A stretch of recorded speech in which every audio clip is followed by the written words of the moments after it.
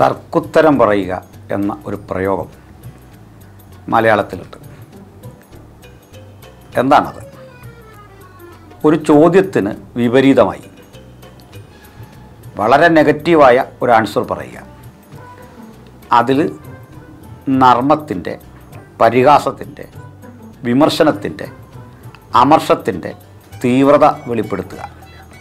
ഇതാണ് തർക്കുത്തരം. ഞാൻ ഓർക്കുന്ന ഒരു രംഗം പറയുന്നു ഒരു ക്ലാസ്സിൽ ടീച്ചർ ഒരു കുട്ടിയെ എഴുന്നേൽപ്പിച്ച് നിർത്തി. മുതിർന്ന ക്ലാസ്സാണ്. അയാൾ അസൈൻമെന്റ് ചെയ്തിട്ടില്ല. കുറേ ക്ഷുഭിതയായ ശേഷം ടീച്ചർ ആ കുട്ടിക്ക് നേരെ വിരൽ പുറത്തേക്ക് ചൂണ്ടിയിട്ട് പറഞ്ഞു ഇത് അങ്ങോട്ട് നോക്കാൻ പറഞ്ഞു അപ്പോൾ എല്ലാവരും അങ്ങോട്ട് നോക്കി. അതൊരു ബാർബർ ഷോപ്പായിരുന്നു. രണ്ടാം നിലയുടെ മുകളിൽ ഒരു ബാർബർ ഷോപ്പ്. ഈ ക്ലാസ്സിൽ നിന്ന് അപ്പുറം കാണാം. നിനക്ക് പറ്റിയ സ്ഥലം അതാണ് എന്ന് പറഞ്ഞു. ഈ കുട്ടി ഒട്ടും വിട്ടില്ല. അയാൾ പറഞ്ഞു അതിലും നല്ല സ്ഥലം ഇവിടെ വേണമെന്ന് കേട്ടിട്ടുണ്ടെന്ന് ഇത് ക്ലാസ്സിൽ വല്ലാത്തൊരു പ്രശ്നം സൃഷ്ടിച്ചു. ഇന്നാണെങ്കിൽ ഇത് രണ്ടും പറയാൻ പാടില്ല. കാരണം ബാർബറുടേത് ഒരു മികച്ച തൊഴിൽ തന്നെയാണ്. അയാൾ നമ്മെ സുമുഖനാക്കാൻ അധ്വാനിക്കുന്ന ഒരു മനുഷ്യനാണ്. നമുക്കൊക്കെ ഒരു കൺസെപ്റ്റ് ഉണ്ട്. നല്ല തൊഴിലെടുക്കുന്ന എന്തോ വില കുറഞ്ഞ ഒരു കാര്യമാണ്. പാശ്ചാത്യർ വിജയിച്ചതും നമ്മൾ വിജയിക്കാതെ പോയതും അവിടെയാണ്. തൊഴിലെടുക്കുന്നത് എന്തോ കുറഞ്ഞ കാര്യമായിട്ട് നമ്മുടെ ആളുകൾ കരുതാറുണ്ട്. തൊഴിലില്ലെന്ന് പറയുന്നത് ഒരു മാന്യതയായിട്ട് കാണാറുണ്ട്. ബൈബിളിൽ ആളുകളെ തൊഴിലോട് ചേർത്താണ് പേര് എഴുതാറുള്ളത് മിക്കപ്പോഴും. കൂടാരപ്പണിക്കാരനായ ഷൗൽ മീൻപിടുത്തക്കാരനായ പത്രോസ് ചെമ്പുപണിക്കാരനായ അലക്സാണ്ടർ ഇങ്ങനെയുള്ള പ്രയോഗമുണ്ട്. പാശ്ചാത്യരും തങ്ങളുടെ പേരും തൊഴിലും ചേർത്ത് പറയാറുണ്ട്. തലമുറയായി ചില തൊഴിലുകൾ ചിലർക്ക് പേരായി മാറിയിട്ടുണ്ട്.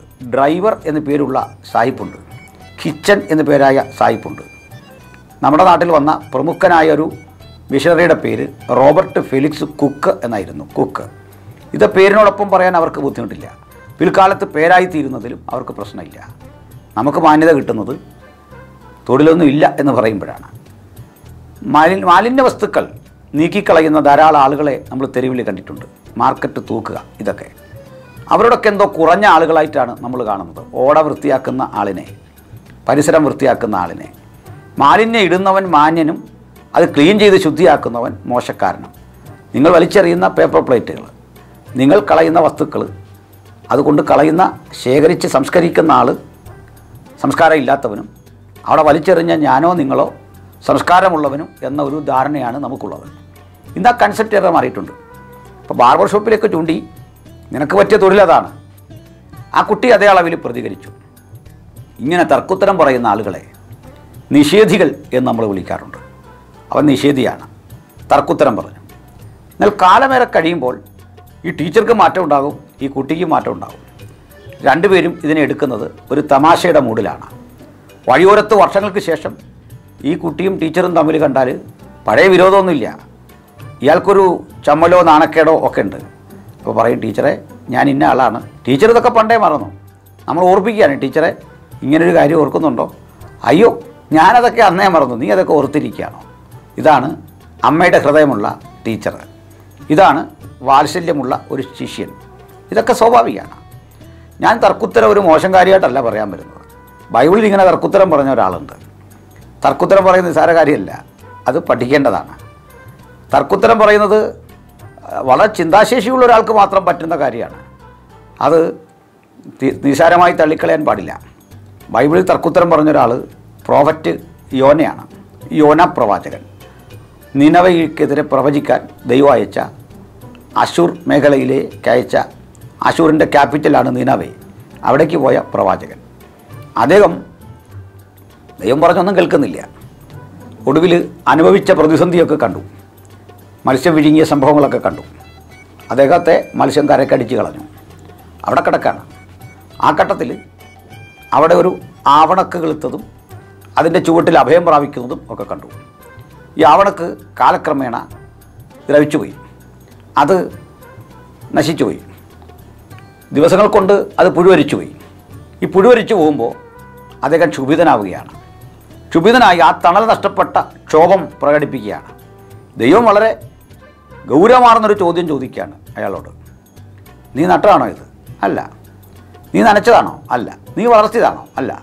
നിനക്ക് ഒരു വിധത്തിലും നീ ഒന്നും കോൺസ്റ്റിറ്റ്യൂട്ട് ചെയ്യാതെ കോൺട്രിബ്യൂട്ട് ചെയ്യാതെ ഒരു ഗുണവും ചെയ്യാതെ നീ ഇങ്ങനെ വളർന്നു വന്ന ഈ ചെടിയുടെ തണലിൽ കിടക്കുകയാണ്.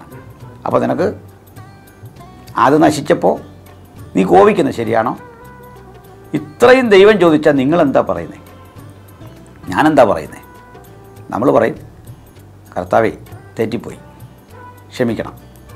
ഞാൻ പറഞ്ഞത് മോശമായി. അന്നേരത്തെ വികാരത്തിൽ പറഞ്ഞ ഒന്നും ഓർക്കല്ലേ? യോന ഒട്ടും വിട്ടില്ല. യോന പറയാണ്. യോനോട് ദൈവം ചോദിച്ചു കോപിക്കുന്ന വിഹിതമോ? യോന പറയാണ് ജീവപര്യന്തം കോപിക്കുന്നത് വിഹിതം തന്നെ. ഇതോടുകൂടി യോനയുടെ പ്രവചന പുസ്തകം തീരുകയാണ്. ഇത് യോന തന്നെയാണ് എഴുതുന്നത്. തന്നെ മറച്ചു വെക്കാതെ ജീവിതത്തിന്റെ ആ തനി യോന ആരെന്നും അദ്ദേഹം എങ്ങനെയൊക്കെ തെറ്റിയെന്നും ഒക്കെ ഉള്ള കാര്യം പച്ചക്ക് എഴുതി വെച്ചിരിക്കുകയാണ്. ഒരു റിയലിസ്റ്റിക്കായ റൈറ്റിംഗ് ആണത് ഞാൻ എന്തിനാണ് സൂചിപ്പിച്ചത് എന്നറിയണ്ടേ? യോനയ്ക്ക് എങ്ങനെയാണ് ദൈവത്തോട് ഇങ്ങനെ പറയാൻ സാധിക്കുന്നത്? യോനയെ നമ്മൾ നിലവാരം കുറഞ്ഞ ഒരു പ്രവാചകനായിട്ടോ അനുസരണം കെട്ട ആളായിട്ടൊക്കെ കാണുമ്പോൾ എനിക്ക് വലിയൊരു മതിപ്പ് തോന്നുന്നു. ദൈവവും ദൈവവും തമ്മിലുള്ള ബന്ധത്തിന്റെ ആഴമാണത്. ദൃഢബന്ധത്തിന്റെ ആഴമാണത്. ചില കർശന ബുദ്ധിയുള്ള ആളുകൾ കാർക്കശ്യമായ ജീവിതത്തെ കാണുന്ന ആളുകളോട് ചില ജോലിക്കാർ കൃത്യരായി ഇടപെടുന്ന കണ്ടിട്ടില്ലേ? വളരെ ഗൗരവത്തിൽ ഇടപെടുന്ന ആളും ചില ആളുകളുടെ മുമ്പിൽ കീഴടങ്ങുന്ന കണ്ടിട്ടില്ലേ? അത് ബന്ധത്തിന്റെ തീവ്രതയാണ്. അതാണ് അതിന്റെ ആധാരം. നമുക്കറിയാം. നമ്മളൊക്കെ വളർന്നു വന്ന സാഹചര്യം. നമ്മുടെ പേരൻസ് വളരെ കർശനമായി വളർത്തിയ നമ്മളെ. പണിയെടുത്തേ പറ്റൂ ജോലി ചെയ്തേ പറ്റൂ അടി തരും ക്രൂരമായി ശിക്ഷിക്കും അങ്ങനെയൊക്കെയാണ്. പക്ഷെ നമ്മുടെ മക്കളുണ്ടല്ലോ. നമ്മുടെ മക്കളെ നമ്മൾ ശിക്ഷിക്കാൻ നോക്കിയാൽ പേരൻസ് സമ്മതിക്കില്ല ഗ്രാൻഡ് പേരൻസ് അനുവദിക്കില്ല. അവർ നമ്മളെ തല്ലും. ഈ കുഞ്ഞിനെ അടിക്കാൻ സമ്മതിക്കില്ല.